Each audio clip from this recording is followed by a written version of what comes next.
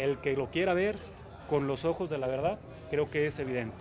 354 millones de pesos contra 55. 9 años contra 4 años. Y lo más importante, sin garantía de eficiencia y servicio de las luminarias, con garantía de, de, eficiencia y servicio de las luminarias.